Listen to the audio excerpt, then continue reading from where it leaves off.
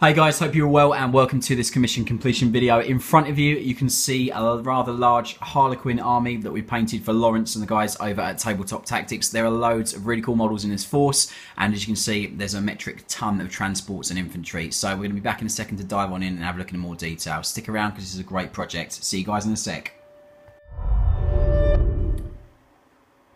Hey guys, I thought we'd start off with this great Harlequin force by looking at all the characters in this army. And uh, Lawrence has chosen to have three Death Jesters. Um, you've got the Solitaire at the front, and you also have the Shadow Seers at the back. So there's three of those. Uh, so we'll just pull these forward just so you can have a look at them, just get this to focus. So first up, we're going to have a look at the Solitaire, just getting to focus for you guys. And uh, as always, it doesn't focus. There we go.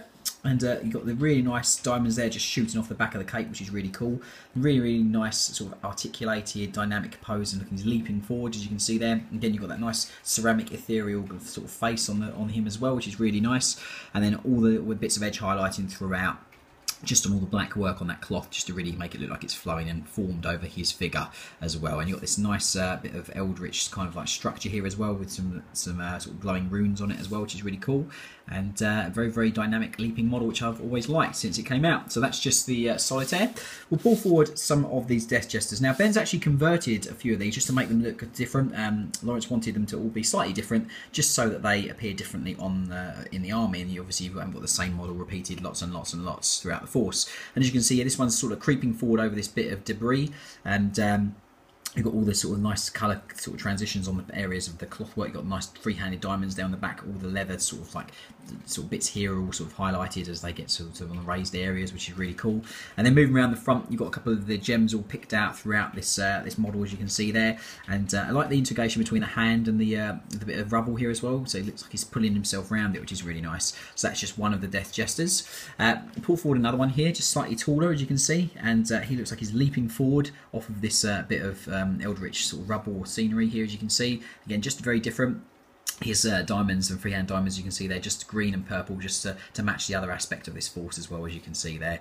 Uh, and again, same consistency throughout, same attention to detail on all the areas of the detail work on the model and the highlighting throughout the cloth and uh, different areas of the, uh, the models.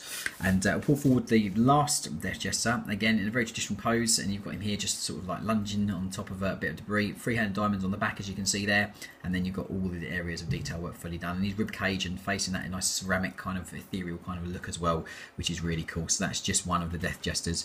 Um, and to finish up, we'll have a look at some of these Shadow Seers, uh, because this is the first one in the more traditional pose. Again, same again, Lawrence wanted them looking very different. So one of them obviously in, in the traditional sort of pose that the sculpt is in, as you can see there. Again, you've got some free-handed diamonds just on the sleeve.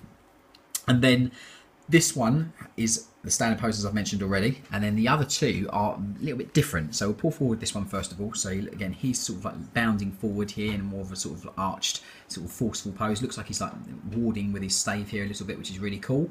Uh, again, you've got free-handed diamonds there on the leg as well as you can see there, and then moving around the back as well. All the highlighting work done on the metal work and areas. Really nice sort of gold to silver transition as well on these pipes as well, which is really nice. And again, all the nice refined edge highlighting on the hood and sort of glassy kind of face mask as you can see there as well. Uh, so that's just the other one. And then got on here that's really sort of like it looks obviously like he's leaning forward, which is cool. But if you if you just lift him up, so you can see it looks like he's sort of like flying forward, which is kind of what we wanted to do with it, just to really look like he's actually leaping at someone. You've got a nice transition of colour here on these uh, tabard parts as well, and all these free-handed diamonds is here as well. And each one is uh, has got highlighting work to a bright point as well as a darker part of the diamond and a lighter part as well. And again, you've got that nice green kind of refractive light on the face mask as well on this one. A nice split sort of uh, mask here as well on this one. Nice refined edge highlighting on all the black as well. Obviously, when it's flat on the tabletop, it looks like he's obviously leaning far forward, but that really does give that bounding, leaping uh, sort of look that we've tried to uh, to achieve with the pose of this this model. So that's just the third seer. So that's all the characters from this force. Uh, I do hope you like them, guys. It's a really, really cool force overall. Really, really nice, sort of very eerie kind of colour scheme, which is really cool what Lawrence has gone for. Um, and up next, we're going to have all of the troops of this force. So stick around, that's coming up. And don't forget, we've got all the jet bikes and transports and gunboats coming up at the end. So see you guys in the next sections.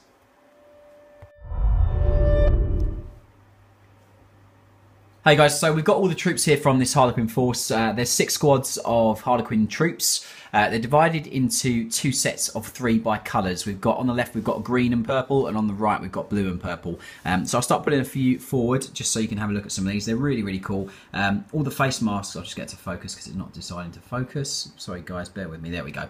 Um, so as you can see here, you've got um, all loads and loads of free-handed diamonds all over these uh, the different aspects of these Harlequins. These ceramic faces are really cool as well. Uh, Lawrence wanted us to make them look really sort of ghostly, and uh, the nice sort of eerie, sort of bluish tinged uh, ceramic faces are that's what we tried to do to obviously give that sort of ghostly kind of feel on the models. As you can see here, lots of nice subtle edging and uh, sort of sort of highlighting on the black cloaks and black black sort of areas of the um, stretch sort of uh, suits that they've got, and then obviously all different guns and bits bits and bobs all done in gold, as you can see. So that's just one of the purple and uh, green quins. Uh, pull forward one of the uh, blue and purple ones, just so you can have a look again here. As you can see, all free-handed diamonds there, all the lenses and gems all picked out. As you can see, You've got obviously different uh, weapon loadout on this one. You've got obviously shuriken pistol here, and uh, you have to forgive me, I'm not too familiar on that one. But as you can see, it's got a nice sort of uh, head crest, as we can see there, half black and white face on this one as well. Uh, but there you can see all those free-handed diamonds on that leg there, as you can see, and the two tassels in nice uh, following colour scheme as well. So the purple and blue there, as you can see.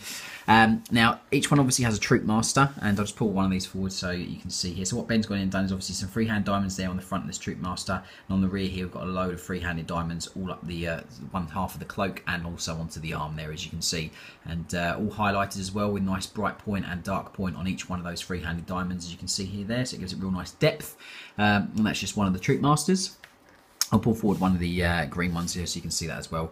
And exactly the same effect here as well. As you can see, nice sort of uh, purple and green diamonds on this one as well.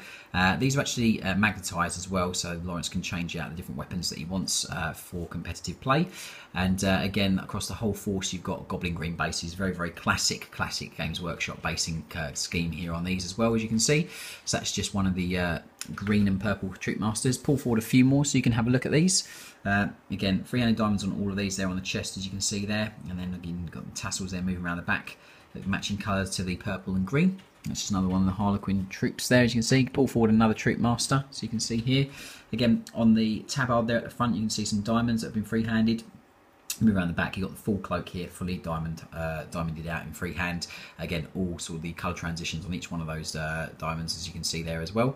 So that's just another one of the troop masters. Uh, and there you go, you've got six, squads of Harlequin troops uh, with a variation of loadouts, some magnetising in there for Lawrence so that he can basically just tailor them to suit the game that he wants to, uh, to play as you can see. Hope you do like them. Next up, we've got all of the transports and jet bikes, so stick around, they're coming up in a second. See you guys in a sec. Hi guys, so to finish off this Tabletop Tactics Harlequin Army video showcase, we're going to have a look at all the transports, gunboats and also jet bikes. Uh, as you can see, there's a whole load of them in front of you. Uh, we've got six of the jet bike variant and then there's a numerous versions of the, the gunboat and also the uh, troop transport. There's six troop transports and then there's three of the gunboats. Um, what Ben's done with the colorway is the purple versions are the uh, the larger um, jet bikes are gunboats, and then to keep that with the uh, the six smaller jet bikes here at the front is also done two purple here as well. So you've got a really nice um, two blue, two purple, two kind of greeny blue, uh, and that's obviously mirrored with the rest of the force as well as you can see. So we'll just pull a few of these forward just so you can have a look at them in a bit more detail and a bit more depth. Um, get that to focus for you guys. So there you go. As you can see here, there's freehand diamonds on the on the sleeves of the rider and also the pilot. All the saddle, the leather work has got full edge highlighting on it as well, which adds some really nice contrast in there. All the metal work has also got sort of silver edge highlighting on it just to really make it sheen.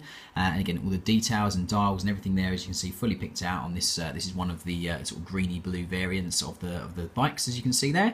Um, there's nice blue glaze over the blade as well, just on that sort of uh, rider there at the back, just to give that metal on the uh, sword or, or, scythe, should I say, a bit more interest. Uh, and the same thing I like as well is obviously on these on these fins, you'll see on the different colour variants. There's a nice sort of transition to that original sort of colour hue purple there, just there as well, which is really, really cool.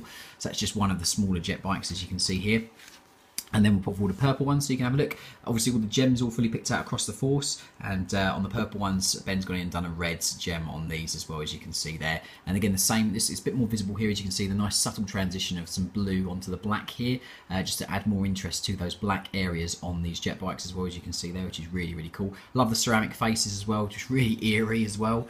Uh, so that's just one of the purple jet bikes and then we'll put forward one of the blue variants just so you can have a look at the blue version of that get that to focus. And then as you can see there are green gems on these as well just to contrast with the, the rest of the colors on this force. Uh, again all the saddles and everything all picked out all the metal work there fully sort of detailed highlighted as well. More sort of freehand gems on the sleeves there as you can see uh, diamonds on those sleeves as you can see there.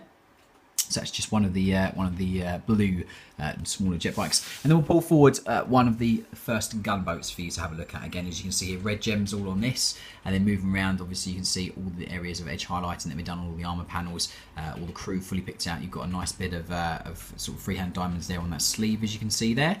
So that's just one of the purple gunboats. Uh, and then we'll pull, start putting forward some of these troop transports, as you can see here. So again, this is a more blue version than a green version. And you've got some nice green gems on there, as you can see nice contrasting sash colours on the legs and on this weapon here, hilt that you can see. And then you've got some free-handed diamonds on both the sleeve and the leg there, and also on his arm, the other, the other guy around the other side. And there's also some free-handed gems as well, as you can see there on the leg of this guy inside as well. So loads and loads of hours spent doing all of these freehand gems and, and diamonds. Even on the collar there, as you can see, all picked out with freehand diamonds. I'll get that a little bit closer just so you can have a look at him. Again, really, really bright. I've got both lights on these guys at the moment, so the uh, the, the, the, ceramic faces are popping like mad. But uh, I do hope you like them.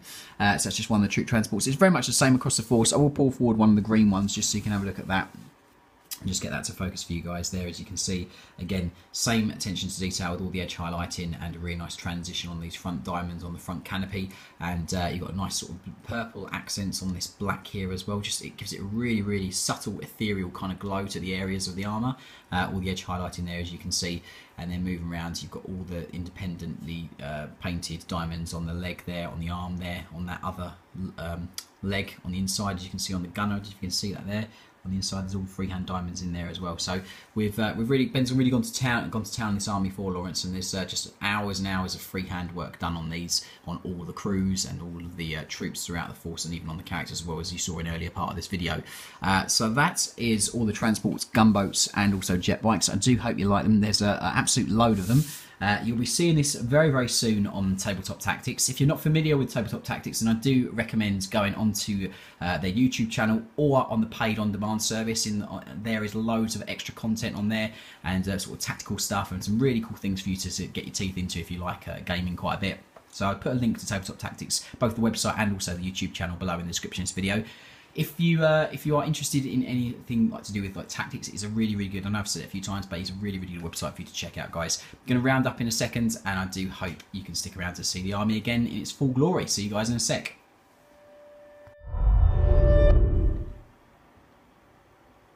Hi guys, so I hope you liked this uh, force that we've finished for uh, Lawrence and the guys at Tabletop Tactics. It's been a really nice project to work on and I hope you liked all the different patterns and bits and bobs of freehand that we've done throughout the force, all the characters, the obviously the infantry and all of the transports and jet bikes. Uh, if you are interested in a commission then please do head to our website and complete a contact form that can be found on the contact tab.